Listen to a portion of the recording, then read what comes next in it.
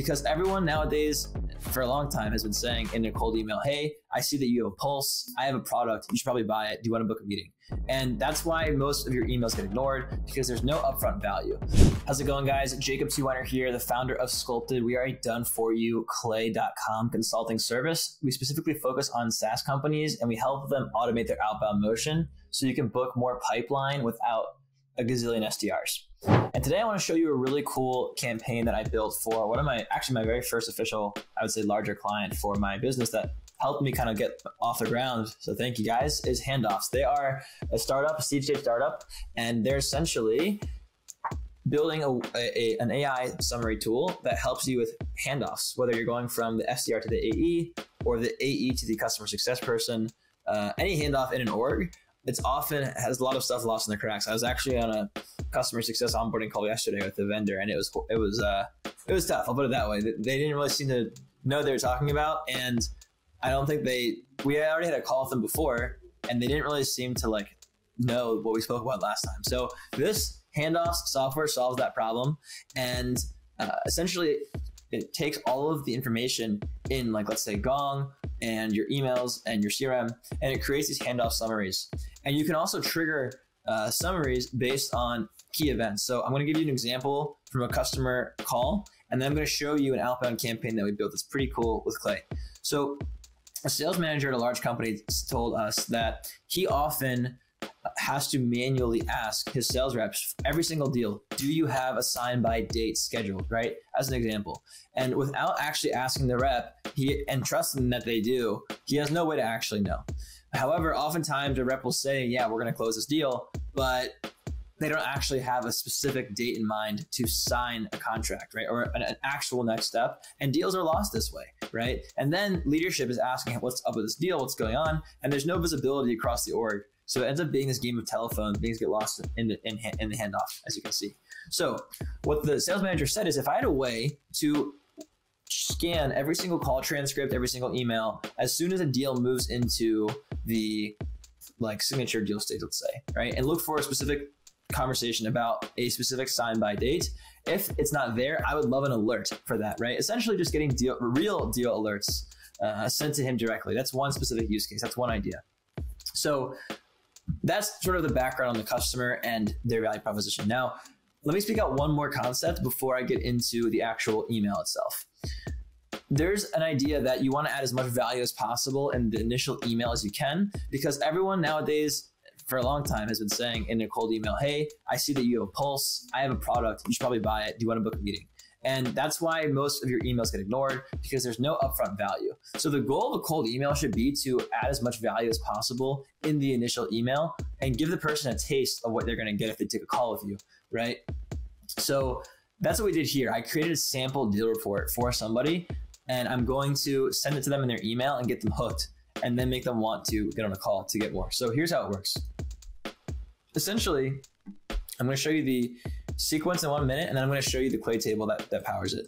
The subject line here is high stress tech deal update. So this is the company name and then deal update. So then we have this company, high stress tech, pain we're solving. They have high stress working environment with employees frequently reporting burnout. Calm.com's mindfulness and relaxation techniques can contribute significantly to employee well-being and productivity. Stage discovery call completed. Next step, proposal call book with head of employee wellness programs in three days. Hi, John. I'm Nick, the founder of Handoffs. We generate automated deal summaries for you and leadership like the example above. No more emergency meetings or surprise deal reviews. This is something that the prospect complained about in the call, so I threw it in there. Want to see how it works? PS, we integrate with Gong, Salesforce, HubSpot, etc. So I know that they were use Gong, so I, I threw that in there kind of subtly. And uh, this is something it looks like a deal update. So the person's going to open it for sure. They're going to think it's a deal update, and they're going to see this is sending to a sales leader at calm.com for their enterprise offering. Now, their enterprise offering, you can see here, they specifically, right, give you solutions to keep your workforce healthy. So this deal summary here is actually pretty relevant to what they actually do. It looks like it could be a real deal report. And this title is actually a title that would buy the calm.com enterprise offering. So how did I do this? How did I figure out like and, and give them a specific sample of a deal summary and a next step book that's naming the title of the buyer right? That's going to be custom for every single person. If I'm selling to different company, this all changes. So how do I do it? let's take a peek in my clay table and then we'll wrap this up. So essentially, what I'm doing is actually I have to go into a meeting, so I'm going to pause here and I'll resume uh, in 30 minutes. Hopefully, I remember my train of thought.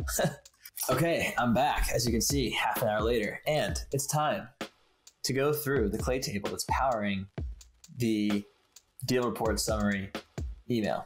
How did we do it? How did we do it? Well, we have a list of Gong customers and uh, their emails and they're, they're validated and everything. Great. So, what was next? What did we do next? We start off with a GPT prompt as usual. And I actually just passed in, I think, if your job is to determine one of website's ideal customers, return the name of the company's ideal customer. Separately, return a reason why you think they're an ideal customer of the company. The reason should be as specific as possible. Pretend you are a salesperson telling your manager a specific problem the prospect wanted to solve with your solution. Okay, so I essentially, I actually probably could have done a better job of this if I had, if I were to do this again, I would probably also feed in the company's uh, description here.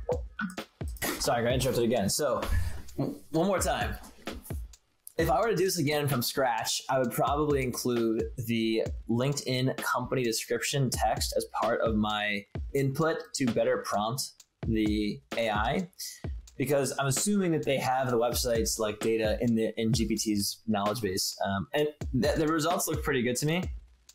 So I'm not going to change it, but if I were to do it again, I would probably do that. That being said, it essentially spits out an ideal customer for every single one of these companies and it also then gives a reason uh, for that company being a customer. And I told it to pretend you are a salesperson telling your manager a specific problem. And that's how I was able to generate this output, right? It comes with the company. And then this is the reason, like, because as if you were telling your sales manager, um, as if you were telling your sales manager, about a specific problem that a prospect has. So that's what this generated. And that's essentially what a deal report is. It's like a salesperson telling his manager why or what's going on with this deal. Like what's the problem? What's the what's the opportunity summary? So that's what this reason is. And how did I generate this separately? This is the more complicated part. Return your answer in JSON. Return the company name with the company underscore name key. Return your reason with the reason key. So what does this mean?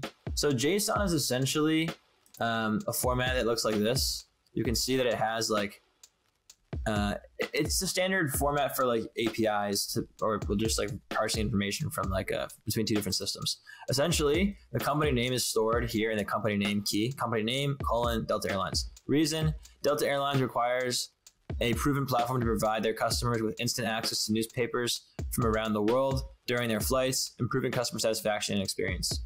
Yeah. So that is the example for Press Reader. What does Press Reader do? Let's see. Press Reader helps your patron discover stories that matter to 7,000 plus global newspapers and magazines all in one app.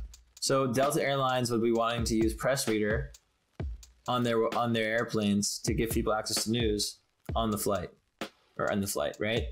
So that's a pretty good example. Um, let's look at Sprout Social, right? So Sprout Social, what do they do? They're essentially some sort of social media social media management company, like SaaS company. We enable brands to deliver smarter, faster, better business impact from social, right? It's a social media management and analytics software. Okay, so one of their example customers is Nike. Why? Nike could use Sprout Social for efficient management of their extensive social media platforms. This will help provide instant customer service and gain an analytical insight into customer preferences effectively. Okay, a little bit generic, but pretty good. Planet could sell to National Geographic. What does Planet do? Largest Earth observation satellite network delivering a near near daily global data set. Okay, so and they're selling to National Geographic. Why?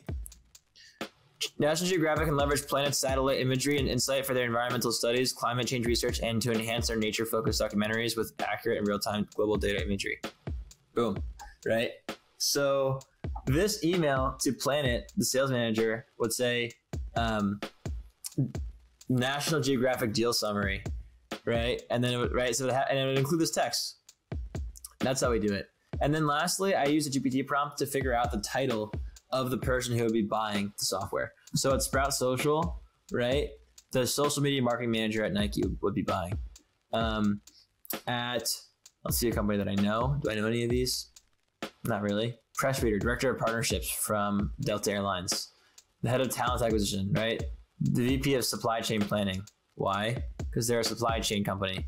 Great. So that's how this this um, table works, and then all the outputs go into the output view. I pull the prospect pane, the reason, and the ideal prospect company out into their own columns, so I can use them in the email prompt and the email script. Hopefully, you enjoyed this video. You enjoyed this. Uh, deal summary, automated deal summary generation table that I created with Clay. I look forward to building more cool tables like this for handoffs and for other clients. If you are interested in building a an outbound motion with Clay, totally automated and scalable, reach out to me, sculpted.agency. You can book a call and we will chat through outbound motion. I specifically like to focus on SaaS companies. So if you're interested, let me know. Love the chat. Thanks. Bye. Hey, I'm just recording a quick video to inject in the middle. I don't think I explained why I use the JSON part. If you don't know what JSON is, then that probably was um, a bit confusing for you. So this is the reason why. Essentially, as you can see in the cold email script, I want to use the company name uh, in one part of the email, and I wanted to use the reason in a separate part. So if I did not tell it to return the results in JSON, and I just had it like output a paragraph where it's like company name and then a bunch of text, I wouldn't be able to take out specific pieces of the output um, and and run it. So for example, if I remove this part, uh, the JSON section from here, I'll just do that for one one exa- one go. Okay. So if I run one of these cells, you're going to see that's to come back and it's going to be basically like a paragraph. And I won't be able to actually pull out those different components into different different columns of my table and use them separately. Whereas with the, um, see, it has this like, it has this kind of weird, um, like paragraph style. So the benefit of using JSON is that later on I can extract the, um, gonna rerun this. I can extract the values into their own column. So for example, essentially what I did here is I created these formula columns. So prospect pane. So I essentially said, um, actually, I wrote a code. I would say parse the JSON text uh, in, and I would just pass in the GPT column here, um, and pull out the um, what was the prompt? I think it was uh, company underscore. Pull out the company underscore name value. Cool. So essentially, what I'm telling it to do is this is the AI formula feature in Clay. I'm telling it to pull out the text that's stored in the key company name. So the company name key, if you remember when I created the prompt over here, I essentially used created this company name key right here, and I told it to add the company you come up with in this key value. And I told it to add the reason in the reason value. So then later on, when I ask it to take out the company name key value into its own column or the reason key value into its own column, I'm now able to have each one of these results in their own columns that I can use later on in the cold email, uh, as opposed to doing a bunch of different like GPT columns. I can just do it all at once. That saves us money and it keeps the results more consistent. So hopefully that gives you, I guess, some background into why I use the JSON section and I will let the video continue from here.